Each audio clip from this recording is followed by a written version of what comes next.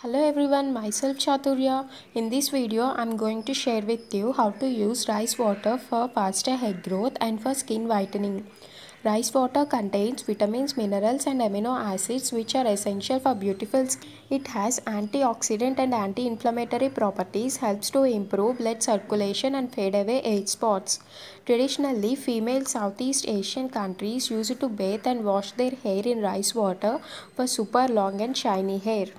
So now let's see which type of rice we can use for making this rice water. We can use any type of rice like brown, white, long grain or white short grain or whatever you have. Every type of rice has its own benefits for skin and hair.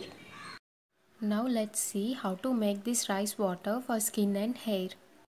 For making this rice water, you need only two ingredients that is rice and filtered water. To make rice water, firstly rinse the rice with a cup of water to remove dirt or impurities. Then take rice in a clean bowl and then add 2 cups of filtered water. Stir it and keep it aside for 1 to 2 hours or until the water turns cloudy.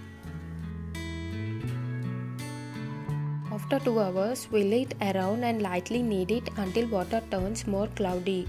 This will help the vitamins and minerals seep into the water.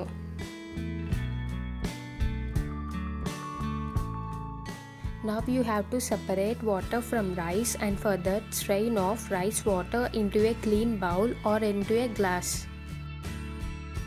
You can store this rice water in refrigerator up to 1 week. Rice water can repair damaged hair as well as protect it from damage. The amino acids in the rice water strengthen the hair roots, add volume and shine and make your hair silky smooth. Rice water also has many skin benefits. It can be used as a face cleanser and skin toner. To use rice water as a cleanser, you have to dip a cotton bowl into the rice water, then massage it into your skin for 2 to 3 minutes and then wash it off with normal water. For skin toner, Pour this rice water into a spray bottle. After cleansing, spray it on your skin to minimize the pores and it also helps to tighten your skin.